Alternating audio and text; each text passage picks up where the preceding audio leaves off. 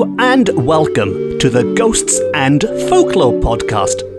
I'm Mark Rees, and on each episode, I investigate a different, weird, and wonderful subject. And on this episode, we are going to explore a very unusual, real life ghost story concerning a very unusual variety of death omen which appeared to a man in the dead of night before leading him away on a, let's just say, a very strange journey for now.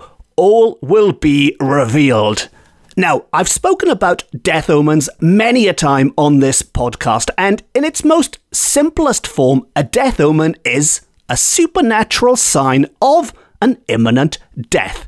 It is quite literally an omen of death, an omen that warns us that somebody is not going to be in the land of the living much longer and the person destined to die could be the person who sees this death omen.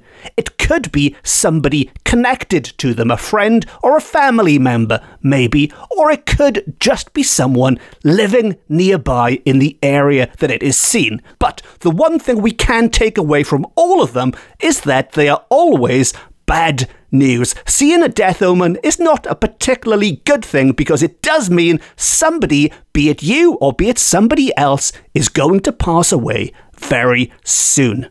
Now, these experiences of encountering death omens crop up in many different cultures and they can take many different forms. They could be in animal form or as a bird, maybe an owl or a crow. Maybe they are heard rather than seen, an audible death omen in the form of strange knocks and sounds. And in Wales, where I am talking to you from, one of the most popular varieties of death omen is the corpse candle, y canwyll corff, which, much like will-o'-the-wisp, it floats about in the darkness and based on its characteristics like its shape and its size and its colour and its speed, you can try and work out the identity of the person doomed to die.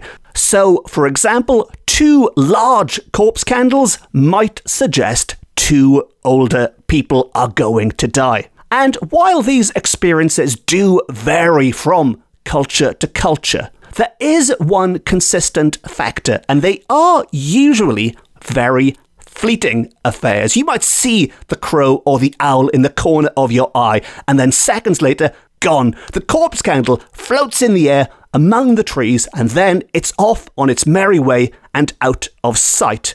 But I did mention that this was an unusual tale. And in this tale, the death omen not only sticks around, it makes contact, it has a conversation with its victim. If we can call him a victim, maybe after listening to this tale, you might consider that this death omen was not something to be feared and offered something a little bit more comforting than the usual encounters. Now, to begin, at the beginning, our strange adventure takes place in the first half of the 20th century, and we are told that this incident, which seems to have foreshadowed death, possesses a certain impressiveness because it is so trivial. So, what we are being told right at the start is that this account was more believable to a contemporary audience because it is so mundane, it is so run of the mill in the way it happened. And what they mean is if somebody had invented this, they might have put some big jump scares in, some big spooky moments, but they haven't. This has not been embellished to make it sound like an edge of your seat ghost story. Rather, the fact that it's so trivial as they describe it makes it even creepier and even more believable as a real life ghost story.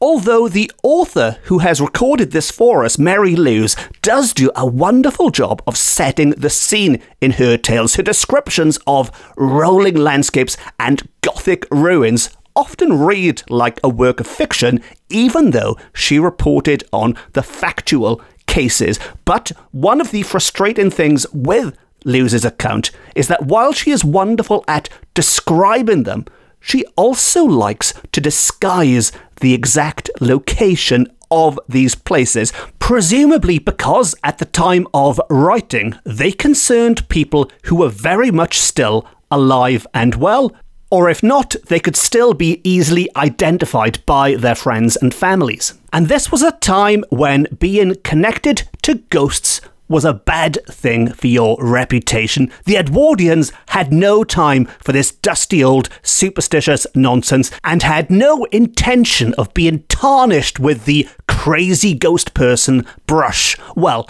until things like this happened.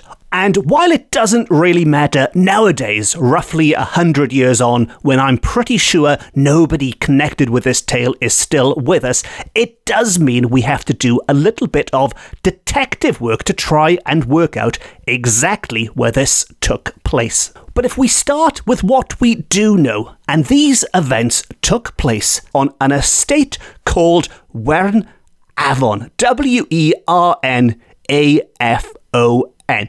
And there are, or were, a few Wernafons out there. The most well known is probably the old mining colliery in Carmarthen in my hometown of Port Talbot. But I am pretty sure this didn't take place in Port Talbot, and if I had to take a guess based on the description that I am about to read you, I think this might have taken place in Pembrokeshire along the Afon Wern, the River Wern. But wherever it takes place, let us now set the scene. And we are told that the reader must imagine one of the most peaceful and beautiful spots in Wales, where there stands a large square house called Wern Afon, backed by hanging oak woods, beneath which flows a clear river. Higher up the vale, the stream loiters through pleasant meadows, affording the angler many a tempting pool. But as it reaches Wern Afon, it begins to sing and clatter over stone and shingle as if it already heard the calling of the not far distant sea. While in flood time, heavy water rushes down, deeply covering stepping stones and swamping shallow fords. So it definitely doesn't sound like an old colliery in Port Talbot. It's much more idyllic with hanging oaks and this river flowing down to the sea, not somewhere you might expect these terrifying death omens to pop up based on that description, but there is more to it. And there are workmen and there are labourers working hard on this estate. And there is a bridge that they use near the house to cross these crashing waters that have just been described. And this bridge, a narrow wooden footbridge, is what saves them and all the other people who live on the other side of the river a considerable walk around to reach the house. So I would imagine that anyone working at the house, anyone visiting the house, would much rather cross this bridge rather than taking a huge detour around it to reach the house. And two men who know this bridge particularly well, and the two men at the heart of this tale are two labourers working on the estate called Ben and Tom, and again, their real names have been disguised, but Ben and Tom, who we are told are great friends as well as great colleagues, and they've worked together their entire lives from boyhood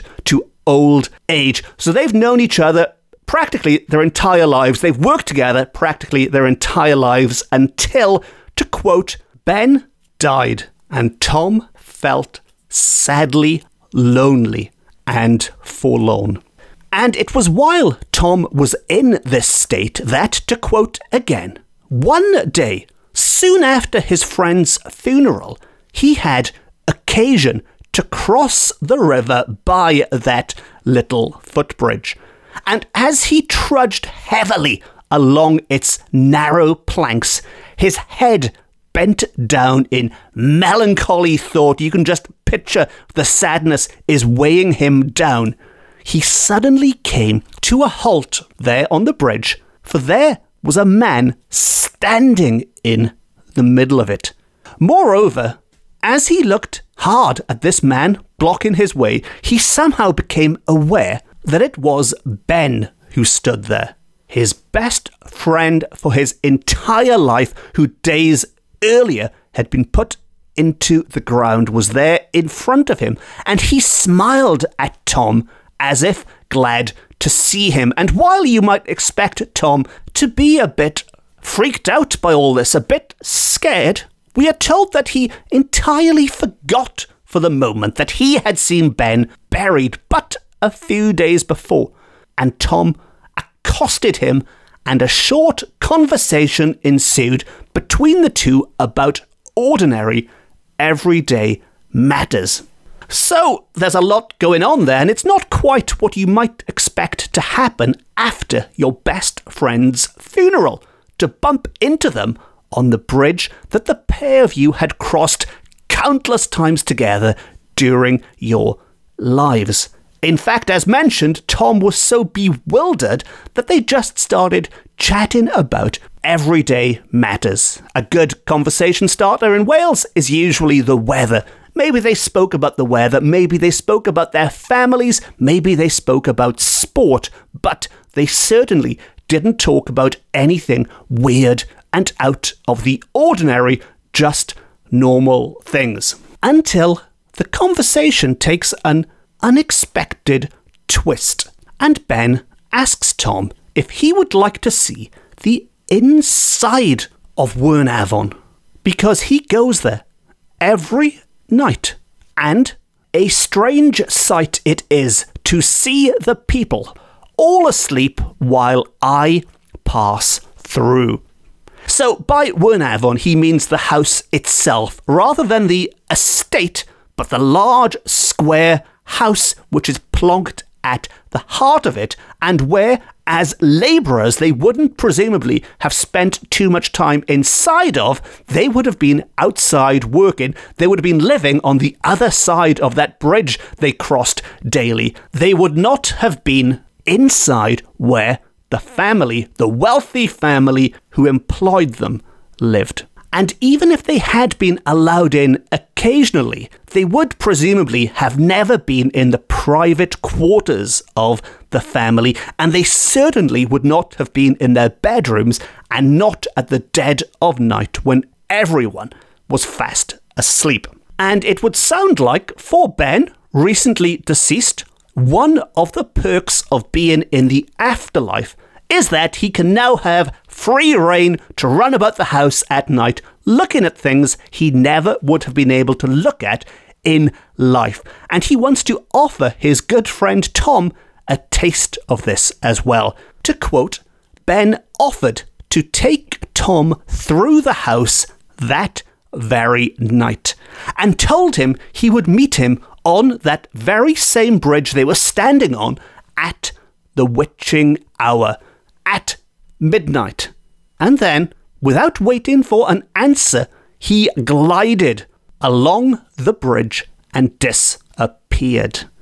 And I think that's all the confirmation we need that Ben is very much some kind of phantom who has returned from the other side. He is not a flesh and blood being still walking this earth. Now, back to Tom, who is now alone.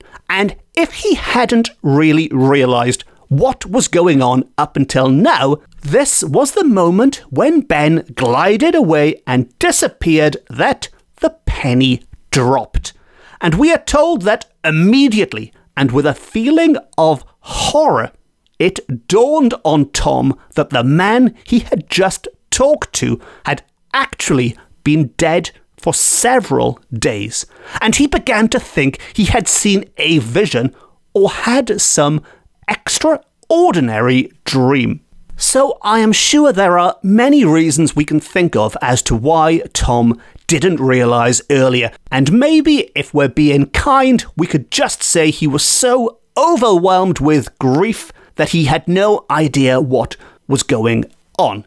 But he got there in the end. He realized now Ben was a vision or a dream or something else entirely. But nevertheless, being a courageous old fellow and at the same time curious to see if any results would follow, he determined to keep the strange appointment. So while Tom would like to dismiss this as a dream, he has his doubts, and so, just in case he decides he is going to keep that appointment, he will be there at the witching hour to see what, if anything, comes next. And for this part, I'd like to quote Lewes's description, and she tells us that so, midnight found him waiting on the little bridge. A bright moon illuminated the river and banks, and by its soft light the old workman was presently aware of a dark shape hastening to join him. Greeting the living man, the apparition took his former comrade by the hand and led him to the front door of Wern Afon, which, as might be expected, was closely locked and barred.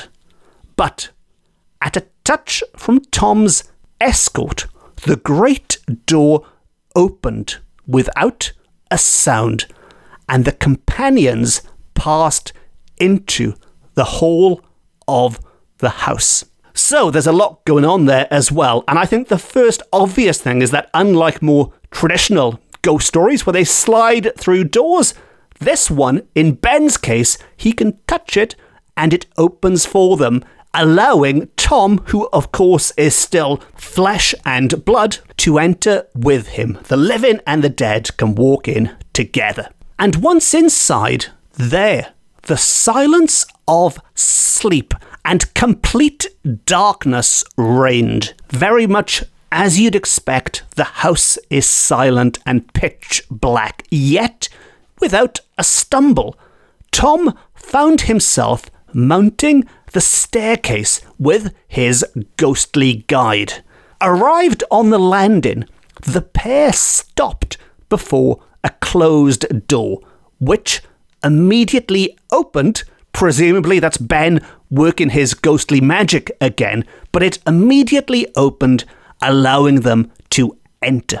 Softly, they crept into the room, Tom remarking that it seemed filled with a faint bluish light, unlike anything he had ever seen before. And I won't go off on a tangent too much here, but regular listeners might be familiar with the idea of this bluish light being seen at the time of a death omen. It's certainly been mentioned in reference to corpse candles before, but back to this particular tale. And they gazed at the occupant of the room, who was wrapped in deep slumber, and creeping out again, they visited all other rooms in turn, Tom becoming more and more bewildered by the strangeness of his experience. And frankly, I'm not surprised he's bewildered. He's sneaking around his employer's home for the first time in his long life. It's late at night, it's the dead of night, with his dead best friend next to him, and they are watching everyone sleeping in their rooms, illuminated by some supernatural blue light. But to return to the tale, at last, how he hardly knew, he found himself standing again in the moonlight outside the front door and, turning to speak to his friend, discovered that he was alone. Just like that, his friend had disappeared once more. And much like the last encounter, it's almost like Tom's brain has been switched back on again. He wandered around in a bit of a haze, but now that he's outside and alone again, he's conscious of what's going on, of what has just taken place. And we are told he rubbed his eyes in astonishment when he noticed Ben had gone, for an instant before, Ben had been standing by his side.